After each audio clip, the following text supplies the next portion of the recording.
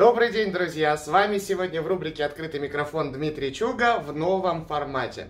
Название формата мы еще не знаем, что-то типа Чуга без воды. А, и в каждом видео, каждую неделю мы будем с вами находить один какой-то инструмент технического анализа, э, разбираться, как он работает, и затем на графиках текущих цен и котировок искать, куда мы этот инструмент можем применить. На сегодня у нас подходящий инструмент это расширение Фибоначчи. Это крутейший инструмент, который может э, подсказать нам, докуда цена в рамках текущего тренда будет э, двигаться. Э, кто не знает, как работает расширение Fibonacci, тот на самом деле очень многое потерял, потому что зачастую трейдеры задают мне вопросы, типа, насколько э, Apple будет э, расти, или как долго биткоин может вырасти. Каждая из этих покупок, которые вы могли совершить уже этой осенью, могла бы быть найдена с помощью инструмента расширения Fibonacci.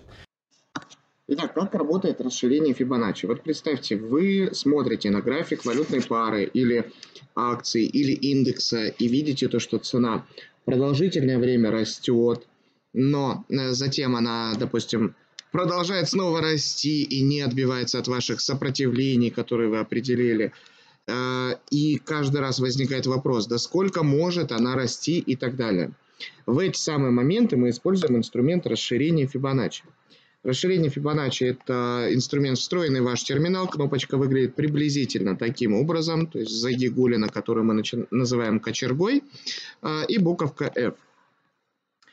А, его выставлять нужно по трем точкам. Точка А – начало движения, точка Б – максимальный ценовой уровень, и С – самый глубокий уровень коррекции. После того, как вы разместили эту историю у себя на графике, даже, допустим, не достигнув точки B, у вас здесь на графике появится три уровня. Первый уровень – это уровень 61,8, затем уровень сотка и уровень 161,8.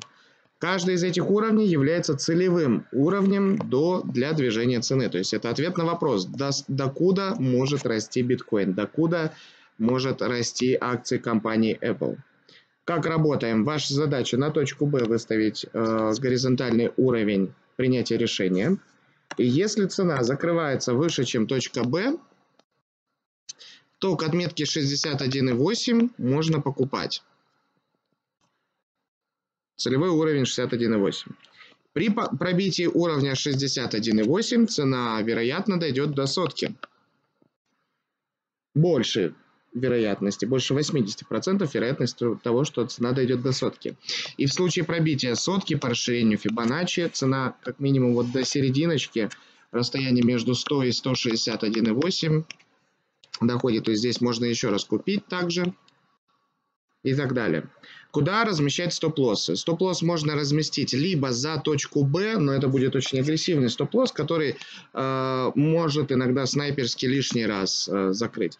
Либо за точку C. Если цена пробивает о, точку C, то тогда у нас, э, получается, однозначно появится какой-то паттерн типа двойной вершины или чего-то подобного. То же самое, только наоборот, применимо к нисходящему тренду. То есть, если у вас образуется нисходящая волна, э, то тогда обязательно используем расширение Fibonacci с теми же самыми параметрами, только на продажу. А, на текущий момент сегодня у нас э, есть место, куда можно применить расширение Fibonacci.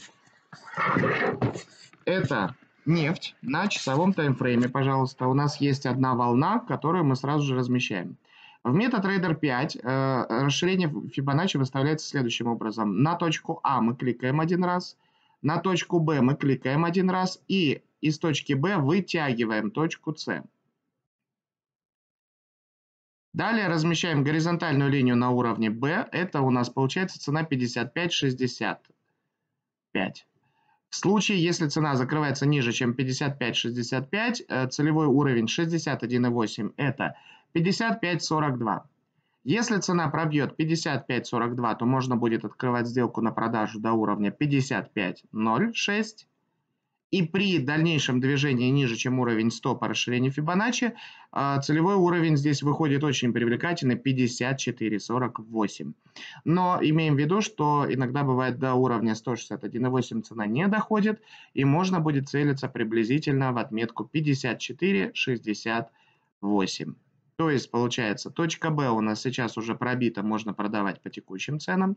Стоп-лосс разместить либо за точку С, это уровень 56.02, либо э, просто выше текущего хвоста, то есть, например, 55, 80, 90, что-то такое, если вы э, жадный человек и хотите сэкономить на стоп-лоссе.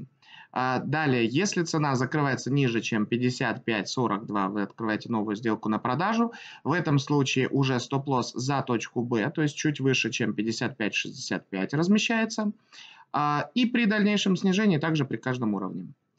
А, прошу отметить, если э, вы нашли какую-то волну с более глубокой коррекцией, то есть, например, отрезок BC более половины AB, то вы увидите, что 61,8 по расширению Фибоначчи станет на точку B или окажется выше. В этом случае расширение Фибоначчи уже работать не будет, и, скорее всего, либо боковик, либо продолжение предыдущего тренда будет. А вот текущая картинка действительно применима к э, торговли прямо сейчас. Пожалуйста, в комментариях к этому видео напишите, как вам такой формат. Что лучше, делать записанные видео смонтированные или же проводить э, их э, чуть более развернуто в прямом эфире.